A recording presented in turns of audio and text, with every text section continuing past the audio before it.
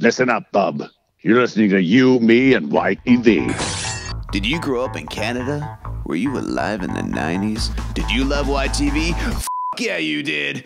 Welcome everybody to a special uh, version of You, Me, and YTV. Usually we do video shows, but at the um, request of Mr. Cathal Dodd here, uh, we we are doing this strictly audio, so you're just going to be hearing the voice of the voice of Wolverine today. Cathal, how are you? And uh, okay, I'm going to stop you right there because right. you said you said Cathal. Okay, how do you pronounce your name, dude? Well, no, it's I, I don't even go by that name. All right, how do you go by? it?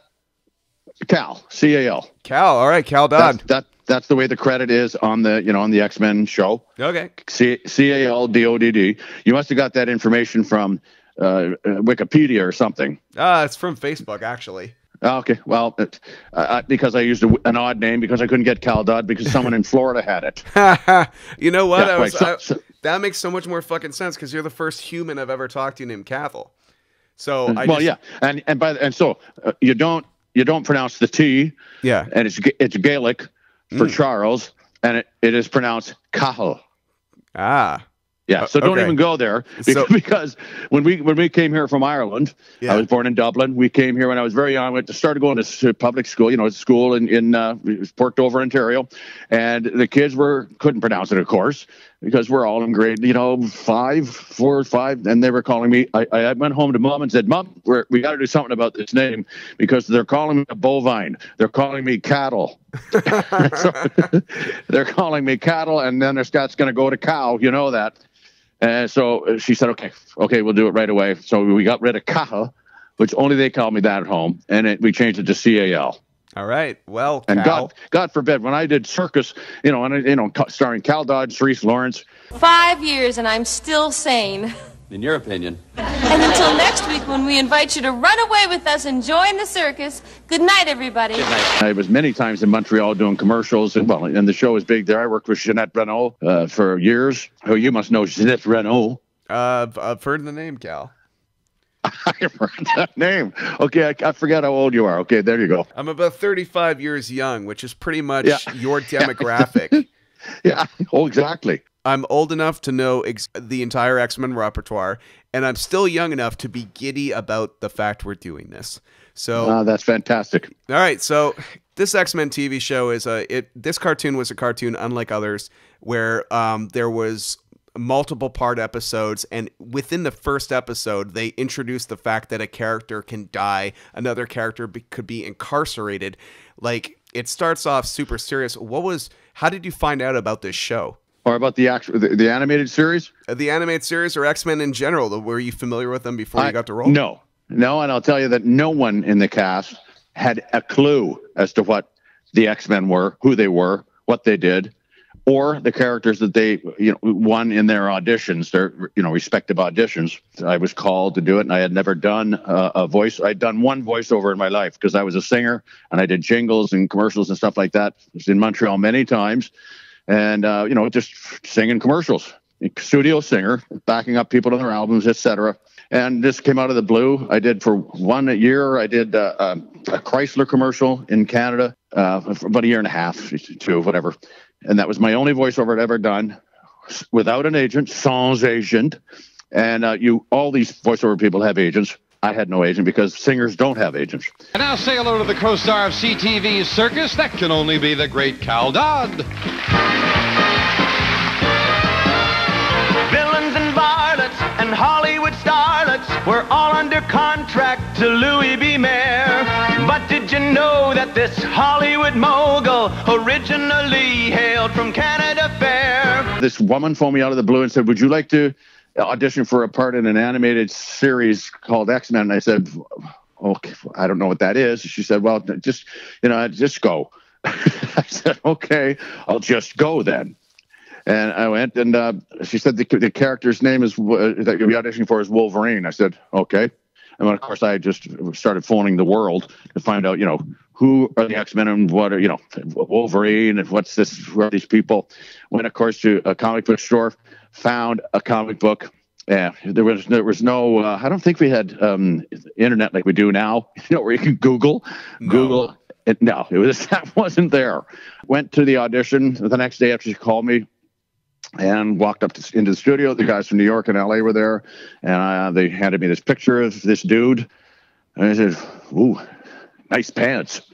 And and uh, showed me the picture of him and gave me my first line that I ever read for this guy. And, and they, I said, "Well, who does who do you what's he sound like? What, what do you what do you see this guy as? Well, right away they said, uh, so, you know, sort of like Clint Eastwood attitude or sort of sounding. Okay. They said Steve McQueen, and I love that because Steve McQueen was a short guy and you know uh, very into himself and very quiet. I, I, really liked him. And then I threw in a bit of uh, Wolfman Jack, you know, Wolfman Jack baby.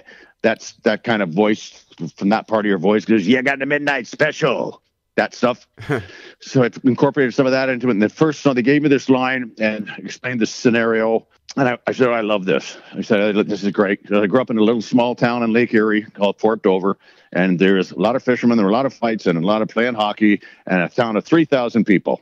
so, so half the lines that they gave me to read were lines I'd heard before in and around in, in and around honest to god in and around fights and you know just the natural the day by day living in port dover. Nothing hurts the blob. Okay round boy. Let's dance. So this is my very first thing i read ever for this uh, guy that i fell in love with wolverine logan. I said uh, i don't know if there's anything prefacing this line but it was like you like picking on people smaller than you? Well i'm smaller than you. Pick on me and they just they just kind of froze. I went, holy shit. the rest in and gave me some more lines and stuff like any anytime, pretty boy. And I've heard that before. but it was just so that was the the scenario. And like I said, well, okay. I never knew who this person was or the X Men or anything, and nor did any of the rest of the cast. Beast. I, have done a couple of comic cons with Beast, and uh, you know he talks about that about like he had no idea mm-hmm. who they were. Oh well, I think that I think that brought a lot to your performances though, because you guys, I, you guys didn't sound like you were in a cartoon all the time. You guys kind of sounded oh, never. More, more like a, a melodramatic. Uh, you know, you sounded. Oh, it was. Yeah, like that, much it's more. Funny, like, Ryan. Mm. Yeah, it's funny you should say that because most of the and, and all the most of the actors um, were in voice actors in the series that they hired for, and I don't know whether they did it on purpose, had done theater or uh, movies or television. They weren't just voiceover people. Uh, we were like actors and on stage and stuff like that. And I, whether or not whether they were looking for that specifically. Wolverine, pull back! Ah! What's wrong, Jean? It's more. Can't you feel it?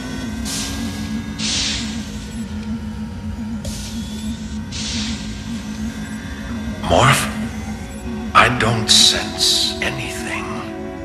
Uh, Beast, uh, George Buza is like huge. He's done major Sinbad movies and all kind. And he was one of the only one of the X Men that was in the very first X Men movie in Toronto that they shot here. He's the only one of the X Men from the animated series that you bothered to get, you know, to do that. Yeah, he was a truck driver in the beginning.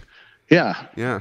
so so uh, a lot of people said that and say that all the time that they felt the passion and felt everything that Wolverine was saying. Like they, they felt it and they could it, it it affected them. And it wasn't just as you say a cartoon series. This was a like well what other what other cartoon or yeah cartoon has an intro like previously on x-men. Yeah. You know, you know previously on donald duck. No it doesn't happen. No. You know. I hate ducks.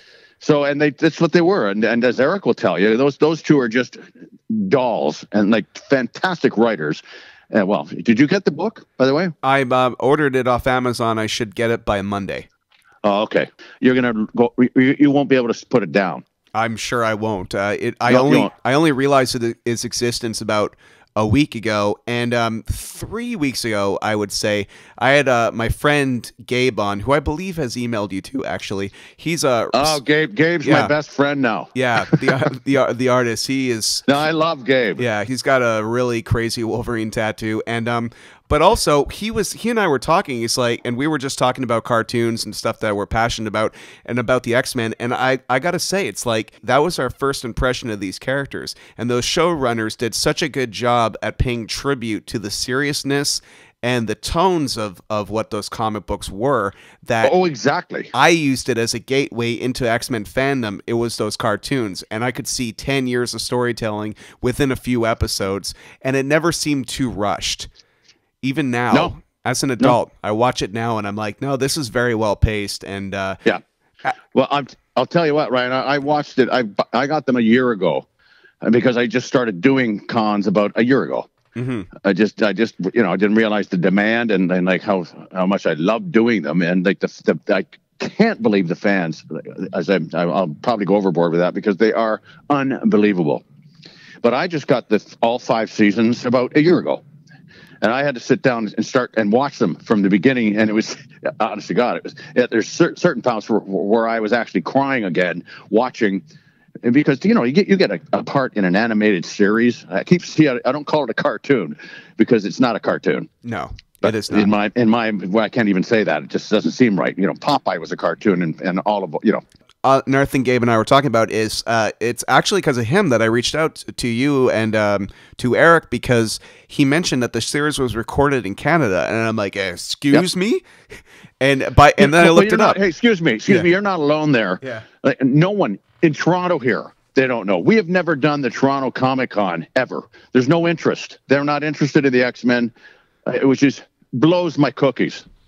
Wow, Because of the, when I get the reaction I get in Texas and Dallas and all, uh, you know, where I've been so far in Hartford, Connecticut, whatever, they are head over heels when they see it. They can't believe Wolverine's here. Like they just freak out, and it just makes me go crazy. And it's just like in Toronto, it's like, and which is tip, so typical of us Canadians. Yeah. we're so cool until they find out that it's a big hit and stuff. Then they say, "Oh yeah, he's from Canada," you know. Yeah, so they don't even know we existed or that we did that, and that we're all Canadian. it's it's insane because like I, I don't know Yeah. Can, Canada's really bad at at celebrating our own. In fact, that's why my show kind of exists because I spec I specifically go after uh, shows that were made in Canada in the 90s because if we don't talk about them, this knowledge and that that age will disappear. Like luckily X-Men is famous around the world and will go on, but there's a lot of Canadian projects that are beloved by many except Canada's not really good at re-releasing DVDs, you know what I mean? Quebec is the only province that has their own in Canada, their own star system. And they do. They they do. They both certainly do. And that's when uh, Ginette Reno, when I was singing backgrounds for her and doing some, uh, you know, perform somewhere, and we'd find a Kapuskasing, as she put it, Kapuskasing, you know, Kapuskasing, whatever. but she was a great, great singer, and still is. Uh, she used to sing at the Montreal Canadiens games when they were going for the cup or you know in the playoffs last year. Yeah. not this year, last year. Anyway, um, she said, "Come with me to Quebec." She said to me, "This is when I was just singing." She said, "Come to me to uh, Mon- Montreal, and, and you will be a star within a year." she said, "I'll I'll teach you like the French and stuff. You can do some records, recordings, and you know." I said, no, well, no, no, thanks, but it was it was kind offer. Okay. Only in Quebec.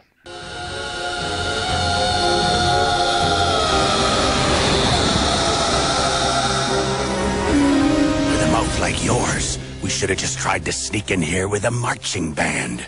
If you think that's bad, you should hear me sing. Well, except for again, when I would go to Montreal to do a commercial for Wonder Bra, which I did many times, flew in, f- do the record, we go to a bar. I'd walk into the bar, and with my the, the guy, the producer that hired me, we'd go into this bar, and he, I'd walk down the steps, and all I'd hear, like, he he would say, because I didn't speak French, he said he did. He said, "Do you hear that?" I said, "What? What?" He said, "The, the girls are pointing on because c'est lui, c'est lui." Going like, "What? What? What is that? What are you talking about?" Well, they recognize you from Circus, you idiot. I was like, because, but in Toronto, you think that would ever happen? No. Wow. Jeez, it's like, shut up. They're coming out of the woodwork. Like I know uh, voiceover takes place before the animation. So did you do? Uh, did you record season after season right away in anticipation that there's going to be more, or did you record 13 and been and we're like, let's hope for the best? First six episodes we did in the studio in, in Toronto, uh, of course, and um, we all, all six of us would be in the six or seven of us would be in the studio at the same time. And that got to be really stupid for the engineer because he had to, we had, even when we were acting in the voices, lines and stuff, we had to wait two seconds before we could speak after the last guy said his line. Okay. that lasted for about I think four, five, six episodes, and then the engineer said, I, I, "This is stupid. we have to bring them in separately, which we did. The only time that they would let us do that uh, would be when myself and uh, Don Franks, God bless him, uh, rest in peace, uh, Sabretooth, he died a year and a half ago or two years ago now. Whenever we had a scene together, we had to do it because it didn't matter because all our growls sound exactly the same, and all the whole the whole thing was just screaming, growling, like you know, like wow, you know, fighting. And it was better if he were there, so I knew I could watch him. You know, when we were doing the fight scene, he'd be right across from me and he'd, you know, growling and stuff. And I could feed off what he was doing. Even though I had lines I had to read, specific lines as he did. But it just, it was much better. And I, I miss those days of doing those scenes with him. The only time, I, reason I don't miss them is that I couldn't talk after them or, or sing, let alone talk. Sing, forget it. Ah!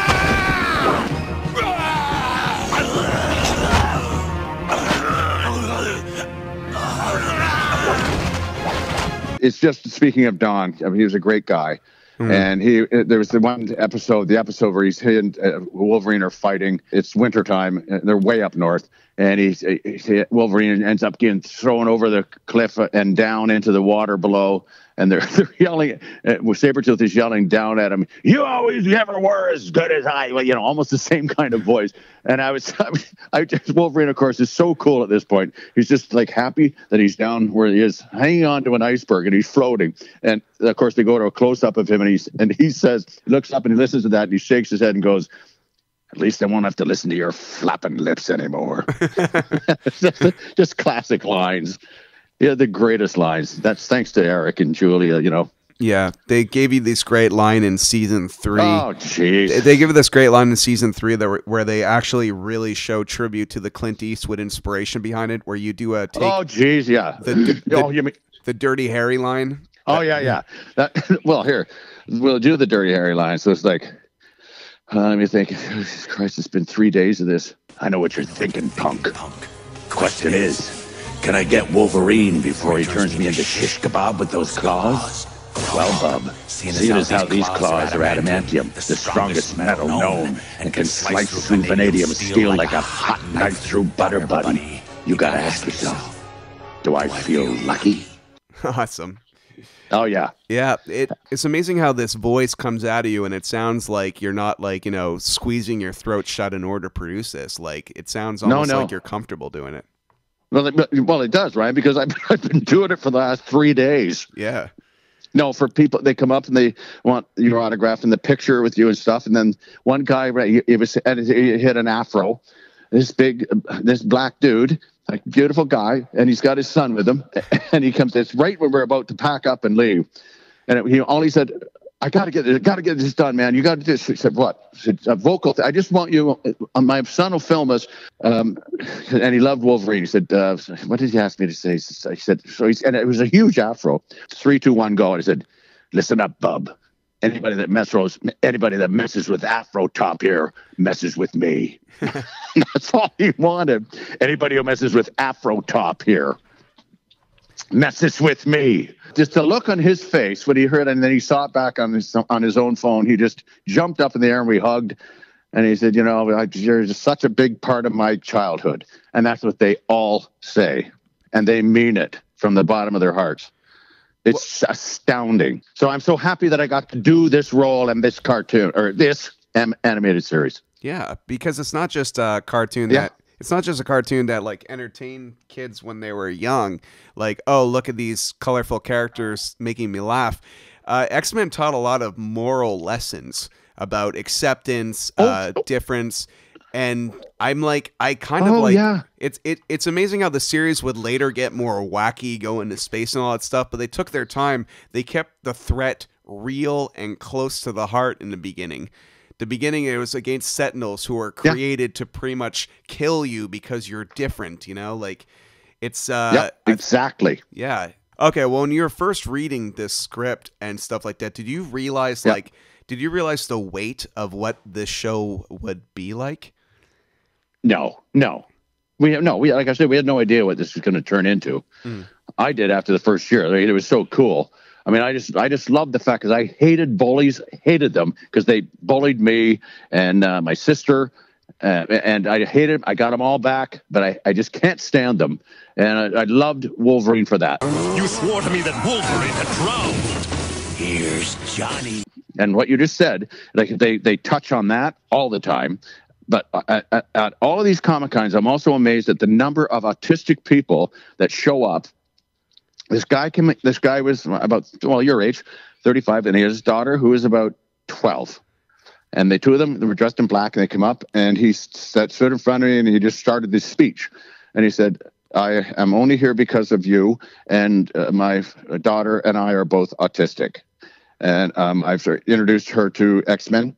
And um, I was teased and bullied because of my autism. And the speech when I, because you know he was autistic and he just had to get it out quickly and stuff. And he was standing beside his wife, whom I didn't know was his wife. And he finished the whole thing, and I was like in tears, and just said he just said I don't know he had he had a, a Wolverine outfit on, dressed in black, and he had the the uh, um, claws. So I went. I said, uh, I just can't thank you enough for sharing that with me. And he said, No, you're the only reason I'm here and alive. Wow. Yeah. So I went, I took my hand and, and to shake his hand, he took the claw off and shook my hand and turned around with his daughter and they walked away. The wife came back. She didn't really, but she watched them walk away. And she came over to me and she ran over and she said, I, I can't believe what just happened. I, I said, I'm sorry, what? She said, well, I'm his wife. I've been married to him for, you know, 20 years, 15, 17 years however the old the girl was uh, 10 like i said or 11 Yeah. and she said because he was autistic he has never ever touched anyone's hand anyone's and touched another human being but this was wolverine he was meeting Wow. he touched has never touched anybody else's hand and like which is why he shook my hand and quickly turned and walked away that he was just he explained why he was there why he loved wolverine why he was, was still alive and his daughter was just so beside him and you know was fantastic that kind of shit happens all the time and i don't mean shit i mean by that you know that, that kind of stuff happens all the time It's all good. Swear away, Logan. that's how avid they are I've never actually Huh? heard Wolverine swear before, so let's get a few of those in. unless you unless, unless you don't want to decimate the character, which is fine. You have to have seen. You have to have seen the thing that's on YouTube about Wolverine attempting to swear. they, they, they've done a, a, a farce on the whole thing, Okay.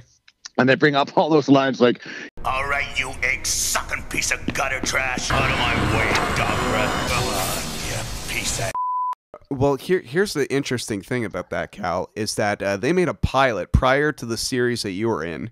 They made they tried to make an X Men series that was way more "Oh, like don't even don't." Are you go? Are you going with the Australian guy? yeah yeah what the fuck Fräulein, you left before I could properly welcome you. Welcome her. Wait, she's not joining the X-Men, is she? She's just a kid.